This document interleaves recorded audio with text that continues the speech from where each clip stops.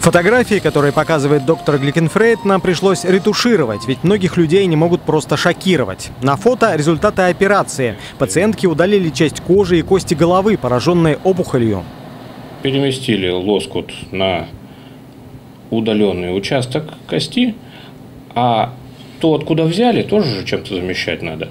Взяли свободный лоскут с кожи живота, Волосы на этом месте уже не вырастут, но без такой операции пациенту просто не выжить. Для доктора подобные хирургические вмешательства – рутина. В его отделении они проходят раз в одну-две недели.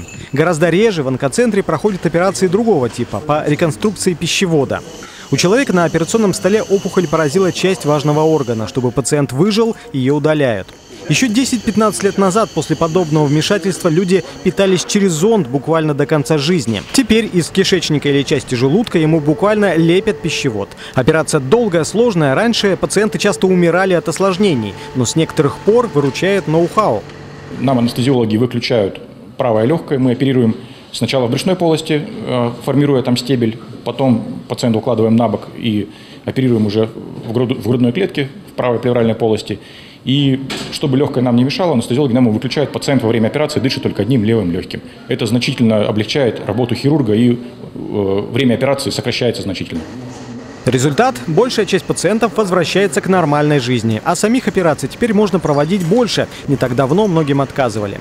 За прошлый год в этом отделении сделали всего 27 таких вмешательств, в этом уже три. Но, пожалуй, нигде так очевидно не нужна пластика, как в маммологии при операциях на женской груди. Ведь порой опухоль настолько велика, что требуются кардинальные меры. Если нам нужно удалить э, всю железистую ткань, вот, и тогда на помощь нам приходят импланты, восполняя тем самым объем молочной железы. Их подбирают максимально корректно по размеру и форме. Сама операция бесплатна, но вот имплант не из дешевых, около 40 тысяч рублей. Именно поэтому очереди из желающих здесь не выстраивается. Не всем новая грудь по карману.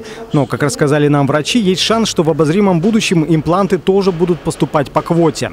А значит, еще у большего числа женщин после удаления груди появится возможность ее восстановления. Впрочем, медики говорят, что вмешательство хирурга можно минимизировать и напоминают о регулярных обследованиях, которые позволяют выявлять онкозаболевания на ранней стадии.